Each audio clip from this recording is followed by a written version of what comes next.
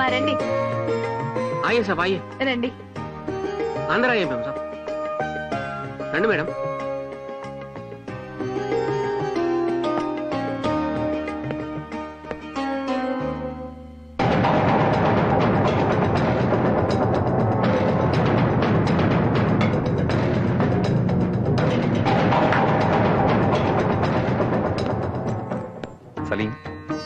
మీకేం ఇబ్బంది లేదు కదా? సాబ్ ఇట్లాంటి చిన్న ఇంట్లో ఉండడం మీకు ఇబ్బంది సాబ్? మాకేం ఇబ్బంది? అయినా ఇల్లు ఇచ్చింది మీరే సార్. సాబ్ అడవిలోకి వెళ్ళిన రాముడు రాముడే సాబ్. అజ్ఞాతంలో ఉన్న పాండవులు రాజులే సాబ్. సాబ్ బురాదిన్ సబ్కు ఆతా సాబ్. లేకిన్ బురాదిన్ చాలా రోజులు ఉండదు సాబ్. ఇట్లాంటి చిన్న ఇంటికి రావడం మీ దురదృష్టమే సాబ్. కానీ ఈ సేవకుడు ఇంటికి రావడం మా అదృష్టం సాబ్. సలీం? సలీం నువ్వు రామాయణం మహాభారతం గురించి మాట్లాడుతున్నావా? నేను అసలైన ముసల్మాని మేం సాబ్. ఎదుటివారి మతాన్ని మనుషుల్ని గౌరవించడం మా లక్షణం మేం సాబ్.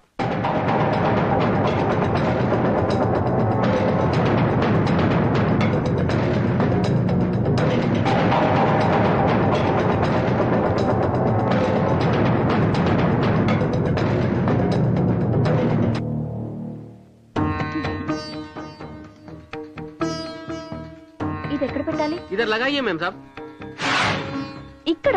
అవునమ్మా. రాముడైనా రహీమైనా దేవుడు ఒక్కడే ప్రతి మతం చెప్పేది సాటి మనిషిని ప్రేమించమని. అక్కడ పెట్టండి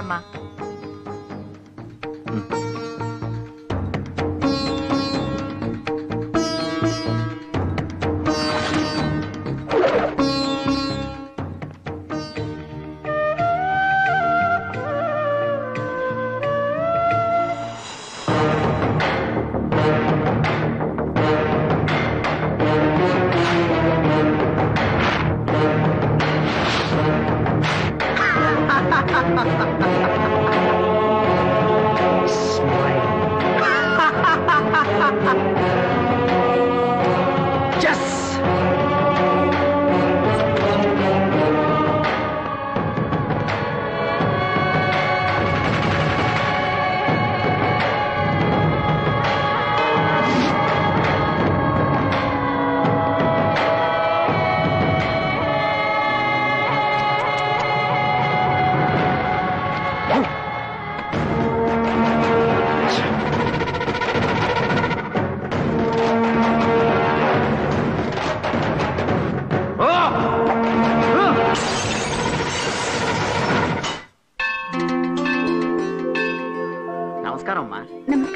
గారు రాలేదా? ఆయన రాలేదు? వచ్చుంటే బాగుండేది.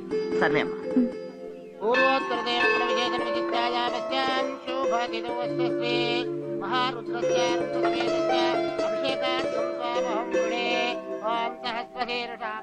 స్వామి ఈసారి నీ కళ్యాణానికి బంగారు కిరీటం చేయిద్దామనుకున్నాను. కానీ ఏ జన్మలో ఏ పాపం చేశానో మా పరిస్థితి ఇలా తారుమారు చేశావు. దయచేసి మమ్మల్ని క్షమించి కాపాడు తండ్రి.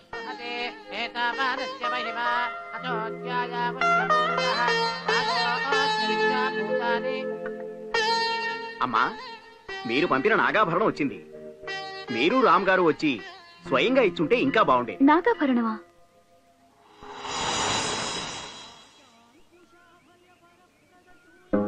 ఈ అలంకారం స్వామివారికి ఎంతో బాగుంది. మీకంతా శుభమే జరుగుతుందమ్మా. ఆ స్వామివారు మీకు అష్టైశ్వర్య ఆయురారోగ్యాలు ప్రసాదిస్తారు.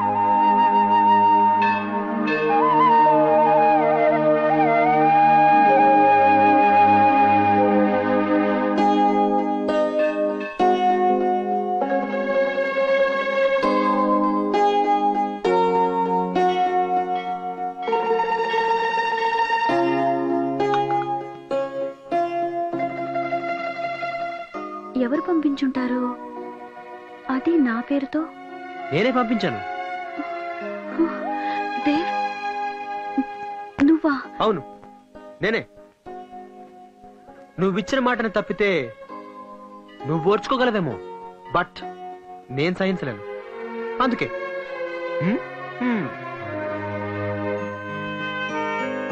కావాలంటే వచ్చే ఏడాదికి ఈ గుడి మొత్తం బంగారం పోత పోయిస్తానని మొక్కుకో. నేను వేయిస్తా. నీ కోసం నేను వేయిస్తా కమర్షియల్ మొక్కుకో. నిన్ను వెతుక్కుంటూ వచ్చాను. నా జీవితాన్ని వెతుక్కుంటూ వచ్చాను. ఎనీవేస్ ఎలా ఉన్నావు? ఇదేం ప్రశ్న? ఎలా ఉంటావు? కాంప్రమైజ్ అవ్వలేక అవ్వకుండా ఉండలేక? అయినో నాకు తెలుసు. నువ్వెలా ఉన్నావు? ఇది చిన్న ప్రశ్న. హా, నేను ఎలా ఉంటానో నీకు తెలీదా? మీ అమ్మగారు ఎలా ఉన్నారు? అమ్మా బాగానే ఉండుంటుంది. అక్కడ.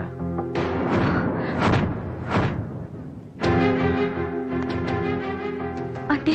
నువ్వు వెళ్ళిపోయావని తెలియగానే అమ్మ కూడా వెళ్ళిపోయింది. నేను మాత్రం ఇలా చస్తూ బతుకుతున్నాను. యూనో ఆ రోజు నా దగ్గర ఒక్క రూపాయి కూడా లేదు. కానీ ఇప్పుడు ఐదు వందల కోట్లున్నాయి. ఎలా సంపాదించానో తెలుసా? ఎలాగైనా సంపాదించాలి అని రోడ్డు మీద పిచ్చి వాళ్ళ తిరిగాను. ఆ ప్రయాణంలో అలసిపోయేవాణ్ణి. ఆ సమయంలో నువ్వు నా కళ్ళ ముందు కనిపించి దేవ్ కమాన్ ట్రై నువ్వు గెలుస్తావు అని నన్ను ఎంకరేజ్ చేసేదాన్ని. అంతే. ఆ అలసటంతా మర్చిపోయి అడుగులు అడుగు వేసుకుంటూ వచ్చాను. అలా అడుగులు అడుగులేస్తూ ఐదు వందల కోట్లు సంపాదించాను. కానీ నువ్వు లేని డబ్బు నాకు చెత్త కాయతలతో సమానం. అందుకే నిన్ను వెతుక్కుంటూ వచ్చాను. ఎస్ నేనిప్పుడు ఇంకో వ్యక్తికి భార్యని. అది బలవంత పెళ్ళి. తాళి కట్టినంత మాత్రాన అది పెళ్ళవదు. కలిసి ఒకే ఇంట్లో ఉన్నంత మాత్రాన భార్యాభర్తలవరు. మనసులు కలవాలి. నీ పెళ్ళి ఒక మనిషితో కాదు. అతని ఆస్తితో జరిగింది.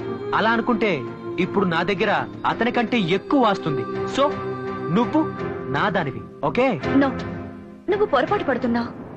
ఒక్కసారి పెళ్ళయ్యాక తాళి కట్టినవాడే ఆడదానికి భర్త. రామ్ నా భర్త. నా శ్వాసలోను నా గుండె చప్పుడులోను అతనే నిండున్నాడు. నువ్వు కాదు. దయచేసి నన్ను మర్చిపో. మర్చిపోవడమా? ఇంపాసిబుల్. నేను నిన్ను మర్చిపోవడం అనేది అస్సలు జరగదు. ఒకవేళ నువ్వు నన్ను మర్చిపోవాలనుకుంటే జరగనివ్వను. అర్థమైందా? డోంట్ బి క్రేజీ నువ్వు నన్ను చేరటం కూడా జరగదు. It's impossible Shilpa Shilpa. శిల్ప. నిన్ను ప్రేమించే వాళ్ళని నువ్వు అర్థం చేసుకోవా? పనికి నేను బ్యాంక్ దాకా రావాలా? ఇవన్నీ నా ఆఫీస్కి పంపించచ్చు కదా సార్. సారీ సార్ కొన్ని ఫార్మాలిటీస్ తప్పవు. లైఫ్లో అన్నిటికీ కొన్ని రూల్స్ ఉంటాయి. కానీ అన్ఫార్చునేట్లీ లైఫ్కి ఏ రూల్స్ లేవు. ఎవరికి తోచినట్టు వాళ్ళు బతికేస్తుంటారు. అంటే? అంతే కదా. రామ్ కంపెనీ పెట్టినప్పటి నుండి మీ ఇద్దరు నాకు తెలుసు. అప్పట్లో నువ్వేంటో అతని దగ్గరికి వచ్చాక నీ లైఫ్ ఎలా మారిందో నాకు బాగా తెలుసు. వాట్ యు మీన్ వయసులోనూ అనుభవంలోనూ పెద్దవాడిని మీకెప్పటి నుంచో నేను తెలిసిన వాడిని ఆ తనుతో నేను అడుగుతున్నాను. రాముకు నువ్వు ఎందుకు ఇలా చేశావు? ఇది కరెక్టేనా? షరా మీ లిమిట్స్లో మీరుంటే మర్యాదగా ఉంటుంది. ఏజ్ అడ్వాంటేజ్గా తీసుకుని మీ రేంజ్ ఎక్సీడ్ అవ్వద్దు. చెప్పాల్సిన అవసరం నాకు లేదు. కానీ ఎందుకో మీకు చెప్పాలనిపించి చెప్తున్నాను. నాకు కావాల్సిన ఒక ముఖ్యమైనది ఆ రామ్ దగ్గర ఉంది. అది తీసుకునేంత వరకు నేను వదలను. అప్పుడే ఏమైంది? అసలు కదా ముందుంది. In front there is a crocodile festival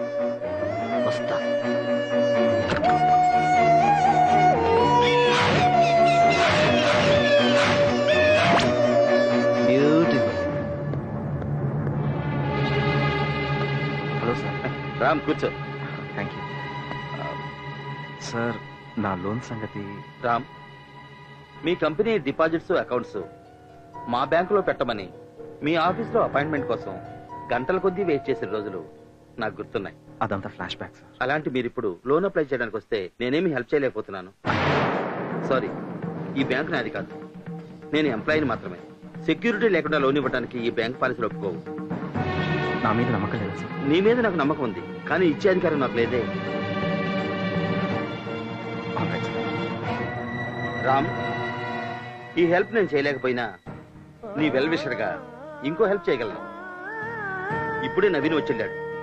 అతనితో నేను మాట్లాడాను. ఎందుకు అతను నీ మీద పగబట్టాడు. నీకు ఏదో ఆపద తలపెడతాడని అనిపిస్తోంది.